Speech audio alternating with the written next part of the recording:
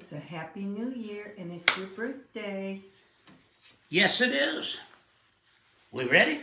You're ready. Well, welcome to the Gospel according to Kinison, and I am your host.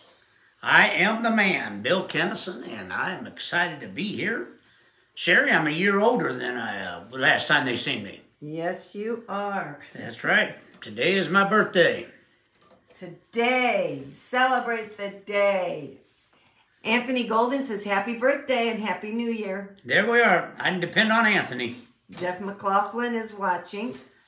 I was wearing his uh, sweatshirt this weekend, actually. Yes, you were. Jack Friedman. Jack Friedman. Said like and subscribe to the Gospel According to Kinison YouTube page. Yep. Yep. Jerry Nicholson, happy birthday and happy new year, Bill. And a happy new year to the Nicholson family. Glad to have them on board. And Jack Friedman says happy birthday. Oh, after everybody else did. Jeff McLaughlin says happy birthday, Dapper One. Dapper. Sherry, I'm dapper. You de- and you fixed the tree, so. Oh, yeah, yeah, yeah. I hope that Joe is on there. Sharon Stein, good morning. John Lutz, happy birthday. He's saying You know, John, how long have I known John? 25, 30 years. No, not that long. Probably about 15. Don't Well, know. quite a while. Yeah. Do you know that every year since I've met him, he has called me at midnight on New Year's Eve? Every year that I've known him. Yes, he, He has not missed a year, and he called last night. We were at Ginger's, and sometimes he's called when we had shows at, at the Grove and everything else, but uh, that's my friend. That's my friend John. Derek Kustra says happy birthday. Travis Jennings, happy birthday. Travis said that I was his favorite pastor. Well, that's a honor. Yes, sir. Yes, ma'am. Kathy and Bob Henry, Merry Christmas. We've known them a long time. Yes. They're John still Lutz says 19 years. 19 years. See, Sherry, you said 35 years. No, I said 30, Oh, okay. But it's Well, I didn't know him when Sam was alive. happy birthday from Danny, Danny James. Daddy James. And happy, oh, he's telling me happy birthday. Yes, he's Oh, telling okay. me happy birthday. Yeah, I'm about to say happy birthday to Danny James. And, uh, well, we've had quite a uh, week. Misty Soper says, Yeehaw, happy birthday, happy new year. What did the yeehaw have to do with it? I don't know. Oh, my Lord. I love Misty. I love Misty. She's a sweetie. Uh, oh, well, we've had quite a week. We've had a week. Yep. Let's see. Last last week at this on on this day a week ago we had Christmas, and now we've had New Year's. We had New Year's Eve last night, but we did not drink any alcohol. No, we had. Well, we're not drinkers. That's, that's the main reason. I don't care if I somebody did or not. But uh, But the ci- the cider was good. The sparkling cider. yes, it was very very good. And we had uh, actually we had Scarlett and a bunch of her friends at the New Year's Eve slash birthday party um, that Ginger gave us over to her house. And uh, Sherry, every year I get king crab from Alaska, Nate Thomas, and he sent them again this year. And I never thought about it. I should have called him a couple weeks ago. Go, why don't you come down and have some king crab with me? It was delicious. Sherry made the, I mean Ginger and, and Sherry, they made the uh, the crab, and then we had steak, and uh, Ginger and Devin did it all. yes, they did. Yes, they did. And they had our little grandkids there. But uh, And Finnegan even gave you some of his dinosaurs for your whoa, I about fell over, Sherry. Yes, because he don't give. up. No, he gives nothing. He gives nothing. I asked for some of his popcorn. No. But then he turns around and says, Here, I'm going to give you all these dinosaurs for your birthday. But I got a feeling he was just getting them over here so they would be here for him to play with. My, he, he's pretty quick like that. Oh, yeah, yeah, yeah, yeah, yeah. He's, he's, he's, he's slick. He is slick. And then uh, we had friends here from California, Dave and Lisa. And I'm not wearing it, but they bought me a Yellowstone You wore it last night. shirt for my birthday, and uh, looks great. Matter of fact, I'm trying to get through this program because they got the marathon going on right now. You've seen them all. I know, I have several times now. Several times. Yellowstone. But Happy uh, New Year, Mark and Susie Phillips. I love Mark and Susie Phillips, and I'm going to uh, give a lesson today along the New Year's. She changed my life. I didn't. I didn't used to do this stuff. I figured God's word was more important than a than a special message for a holiday. But here I am. Here I am. I've been beat down. Beat down. And we went live last night too. You know, I'm not real good at the lives yet, but as far as talking, Well, I think you kind of went live. I was. Yes. I was eating crab at the time. Crab legs. and we just had a fun. It was just a fun night. We danced around the house, Yes, we did. played with the kids. That's what it's Went all out about. and set off all the uh, fireworks. Fireworks. It's supposed to be illegal, I think. No, they're not illegal. Oh, I love You gotta love Texas. I came from California. Thousand dollar fine. I don't know if they ever really ever fined anybody, but thousand dollar fine if you were shooting off fireworks. Good morning, Penny Flory. Happy New Year. Merry Christmas. I haven't talked to you. I did send you a couple texts. Misty Soper said, I loved your video last night. Thank you, Misty. Penny says, Happy birthday. Well, thank you. And I have got. Well, you've got my my phone, but I have so many messages. I haven't even started to, and it isn't because I'm. They're not important to me, but there's so many. It's going to take me a while to He to read them. them. He loves reading them. Yes, yes, I do. Yes, I do. Okay. And here we are, first year, first day of the year, and I want to I want to tell you how to have a great year. You folks have been waiting for some of this. We just went through. Some of you are going to go through. I went through maybe the toughest year of my life this past year. Well, then it's time to have a great year. Let's have a great year. 2023. Let's make it a great year when I was when I was uh, putting this lesson together, I my memory went back, and I remember sitting in my office and and going through this lesson and laying out the notes I wanted to say, and I remembered an experience I had with my dad. I think I remember it almost every New Year's. And uh, my dad was a preacher. He was a man's man, what you call a man's man. Strong, sturdy, forthright, lovable, in every sense, just a great guy. Not just because of uh, he was my dad, but he was he was just a he was a great person.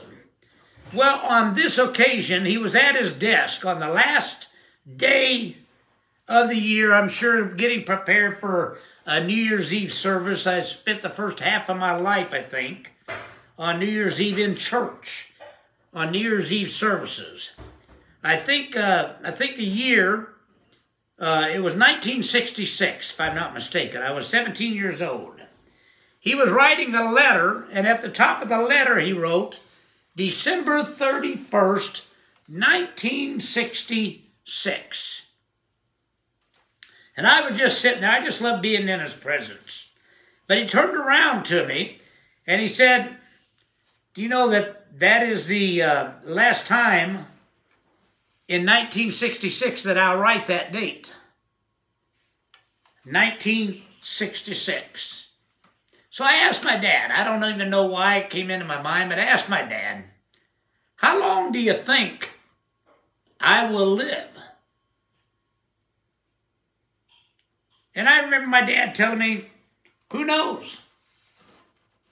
God is the only one that knows. God knows. Then he added something, and I want to really put an emphasis on this for you. He added something. I hope you live a long time. Then he said, I'm not as interested in how long you live as I am in whether you amount to something while you do live. What a statement. Said, I don't, I hope you live a long time. But I'm not as interested in how long you're going to live as I am in whether you amount to something while you do live. Now that's quite a statement. At year's end, that's that's quite a statement at any time, but at year's end, that's quite a statement. And at a new year's beginning, I want to ask you something. Do you amount to something? Do you amount to something? Are you and I going to do better in the upcoming year than we have in the than we've done in the past? I remember my brother Sam's funeral there in uh, Tulsa. We had two services. We had a memorial service there in Hollywood for his Hollywood friends, and then we had our church funeral service in Tulsa there at our parents' church. And it didn't surprise me because I know how preachers are, but we had all kinds of preachers there.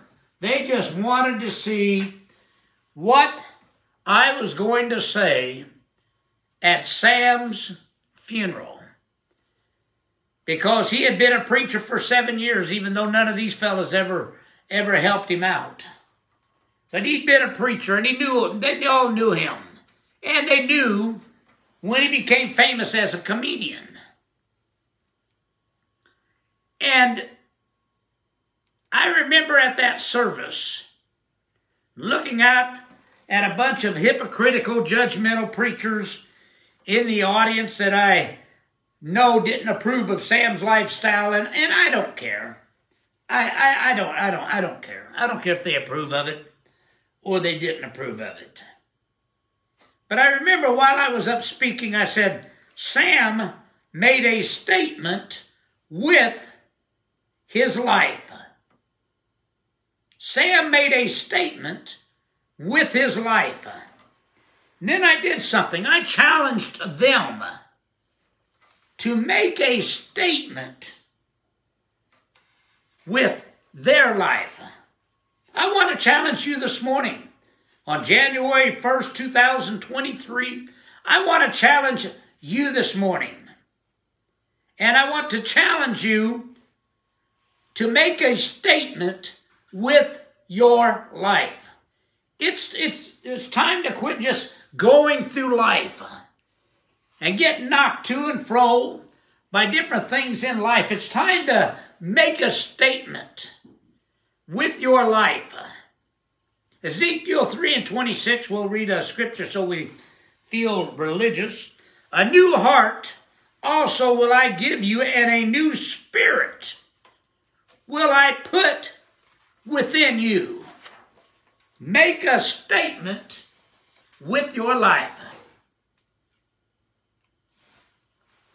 Now, what Ezekiel said is if the old heart and mind do not have the right attitude, if the old spirit is dull and uninspired, then we need to have a new mental attitude. Let's make up our mind today. Let's get a new mental attitude. Whatever we're going to be and do in the new year, we must be excited about that prospect and that we will be filled with enthusiasm for the coming year. I don't know about you all. I get up in the morning excited. I get up in the morning waiting, just waiting to do stuff. You see, there is one great thing that everyone has. I don't know one person who hasn't got it. Everybody has this. Everyone possesses it. What is it? It is life. Everyone, you have it. Everyone has it. You are alive. What a privilege to be alive. I had somebody ask me last night, said, uh, man, you're piling the years on. You're 74 now. And you know what I told him? I said, you know what? I count it a privilege there was a lot, a lot, a lot of people that I knew, even in this past year, that didn't get to see 74. I not only get to see it, I'm vibrant. I look I look forward to it. It's a privilege that's not given to many, and I treasure that as a privilege. What a privilege to be alive. So let us anticipate as we move into the new year uh, what we are going to have in beautiful experiences. Let's just anticipate it. Some of that which we've never had before. We're going to experience things in this coming year we've never experienced before. Some of you think it's going to be the same old stuff, but it won't be. If you have a new heart and if you have a new spirit within you, enthusiasm, excitement, that's what comes from it. That is the mental attitude you have to have as you move into the new year. You've got to have that enthusiasm. You've got to have that excitement. Let's just start let's start fresh today. Let's just start fresh. You may say, "Well, I made a lot of mistakes last year. I did a lot of foolish things." But you know what? When the date changes, all that is in the past. I don't even care what it was yesterday. Somebody said, "Well, brother, or uh, Pastor Bill, it was I was uh, I was at a party last night. I got drunk. I'm sorry. It was foolish. It was stupid. You know what? That don't exist. That don't exist. When the date changes, all that is in your past. Right up to this moment. You see, the past. Now I want you to hear that. I want you to hear all of it. I keep telling you I want you to hear this. That's because it seems important to me. But the past is one of the greatest blessings God ever created. The past. You see, when it's past, it's past. One scripture, well, there's several scriptures in the Bible says, and it came to pass. And it came to pass away. The past is gone. You see, don't hang up. Don't get hung up onto the past. Let it go. Forget it. Forget it. It's over. Good, bad, or indifferent. It's over. One of the greatest texts in the Bible is this. The scripture reads, forgetting those things which are behind. Forgetting those things which are behind and reaching forth unto those things which are before. One of the greatest scriptures in the Bible, I think. Forgetting all those things in the past, forget it. You know, if you spent most of your life blaming somebody in your past for why you're going through the things you experience in the present, forget it. Forget it. Forgetting those things which are which are behind and reaching forth unto those which are before. That is the way to live as a healthy minded individual. That's how you do it right there. It came to pass.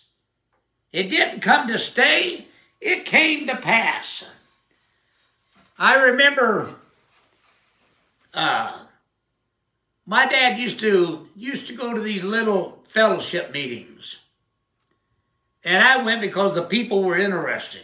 They were uh, they were peculiar people. In a little town in Illinois called Brooklyn, Illinois, they, they had a little church and they'd have a fellowship meeting. My dad, for whatever reason, loved to go down there. I, like I said, I used to love to go down and watch the people. But they had a they had a river that flowed through this little this little town. And I remember one day I was down there instead of in church, I was down there and and looking at the river. And I was leaning against the bridge, uh, the railing of the bridge, and, and I watched the current of the river below. And I saw a log, a bit, a, a, piece of driftwood, and it floated past on down the river. The surface of the river was smooth, but always it had been for a hundred or maybe a thousand years, the water slipped under the bridge. The river always flowed under the bridge. Watching the river that day, I made a discovery. I discovered an idea. Suddenly and yet quietly, I knew that everything in my life would someday pass under the bridge and be gone. Like the water that flowed underneath that bridge. And these words came to me, which I had heard my whole life, didn't understand it till then. It's water under the bridge. All of all of my life, the idea served me well and it and it carried me through. It's water under the bridge. There were days and ways that were dark and not easy. Always when I had made a mistake that I couldn't be helped or I had lost something that I could never get to come again, I realized up until into my manhood, it's water under the bridge. From then on, I didn't worry about my mistakes after that. I learned from them, from the mistakes. I didn't let them get me down. Why? Because it was water under the bridge. God forgives our errors. Let me, let me explain it. God forgives our errors and God forgets our mistakes. So get rid of that whole idea that God's getting even with you for something. If God forgets, then we should forget. Forget that which is behind. Reach forward to that which is before and be enthusiastic about your life. It isn't going to be fun to walk away from, from those old uh, errors, those old dumb, stupid things that we did last year. You say why? That's where we found our comfort. With just acting acting ignorantly. Right now there is a wonderful new year in which we're going to do better. And we're going to have a lot of excitement. And we're going to have a lot of joy in doing it well. You might say, well, what about all these problems that's going on? What about all these problems in the world? Look at the difficulties we're having in the world. How can anyone be excited or enthusiastic with all these problems? Well, let me ask you a question. When didn't we have problems? It's not new. When didn't we have problems? You can't wait to start being enthusiastic until there are no problems because you're still going to have the problems. Just remember the one thing that you've got. You are alive. You are alive. Don't be afraid. Don't ever be afraid. Don't ever. God will watch over you the rest of the way. I believe that with all my heart. No matter what, what your problems are or what your difficulties may be, God will. I remember John Moore in Rockford, Illinois used to sing, God will. God will be there for me. You see, it is well. It is well. I can't speak for you. For me, it is well with my soul. God will take care of me. He always has. He always will. Trust God. Do the best you can. Play what play out whatever life deals you.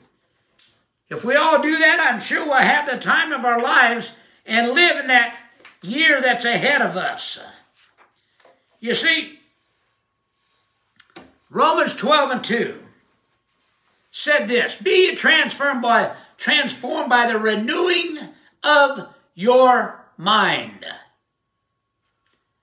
Now, we've been talking about the past. Well, my little Kinisonism, you can hang it on the, on the fridge, whatever you want to do with it, is this. Now is the only time there is. Yesterday is gone. Tomorrow never comes. All you have is right now. See, many people, uh, they wait, they wait for New Year's uh, to begin to make their resolutions and what they want to be and to do and to have from everything of what size they want to be, how much weight they want to lose, how much uh, they want to quit their smoking, they want to quit this, and they make these resolutions. But in this ministry, we teach you not to wait for a certain day or wait for a certain time of the year to change conditions. Don't wait for New Year's. Don't wait for New Year's. We teach you not to wait for somebody. Not to wait for something else to give you the good that you desire. You can get it yourself. We teach that now, right now, is the only time there is. The time to change your conditions for the better is right now and right here. Now is the time. Here is the place. This is a now ministry. I want to stress that to you. It is a now ministry. I'm a now teacher. And I'm telling you, through the presence and power of the God in you, you can renew your way, your way of the right here and the right now. You can do it. You can do it. Some of you, some of you buy, buy those lottery tickets every week. You don't expect to win. If you win a few dollars, you think you're really happy. No. If you're going to do something, do it all the way. Expect it. Expect it. You can change anything in your experiences. You can. You don't need me to do it. You don't need another teacher. You can change anything. You can change your life by changing your mind. Be transformed by the renewing of your mind. Do you have a someday attitude? Many people don't want to change their thinking and they don't want to change their minds. People want to change everyone and everything around them, but not themselves. Well, it doesn't work that way. It doesn't work that way. If you are waiting for someone else or something else to bring you success and prosperity to you, you will never, never succeed and prosper. If you're waiting for some day, Christians are good at that. To overcome your conditions, you're, you're going to be waiting a long, long, long time. Because when is someday? I've heard of Monday, Tuesday, Wednesday, Thursday, Friday. I think Scarlett told me this. Saturday, Sunday, but she hadn't heard of someday. Someday. You see, your someday attitude is the reason you haven't prospered and you would like to prosper. Quit waiting for that someday. Make up your mind today and the doors will open for you. I promise you it will. You see, the ideas in your mind are what cause you to, to succeed or talk uh, to fail. Have prosperity or poverty, to have or, or not have that which you want. You are never going to get further in life than the ideas you have about yourself in your mind. Sure, did you come in here for a reason? Always to tell you it's over. It's over. Yeah. It's twelve thirty. You know, Sherry, I, Mike, I want to show you something. Mike Rangel said happy birthday. Y- Well, you just talked. You know what? You know what all these are? Yeah, they're notes Yeah. that you haven't got. Do you realize how much I studied for these notes? Well, maybe in 2023 you can up it 15 minutes, sir. Well, the boss has spoken. The boss has spoken. God love every one of you. And I do want to wish you a happy new year. And it's whatever you can make out of it. It's whatever you want to make out of it. It's not up to the government to take care of you. It's not up to your, your job. It's not up to friends, family. You have all the power that you need to be successful. Heavenly Father, I thank you for this time you've given us this morning. And I ask that you cause this to be a strength unto us. Let it let it revigorate and excite us. Let it let this put an enthusiasm inside of us that nothing will be withheld from us. I ask for healing. I ask for blessing. I ask for success and prosperity for every person that has ears to hear what your scriptures would say. And I'll give you all the praise. Amen. Well, here we started off a new year. Yes, we always do. That's right. I love you. Sherry loves you. God loves you. And God bless America. We'll be here next week. Have a great week.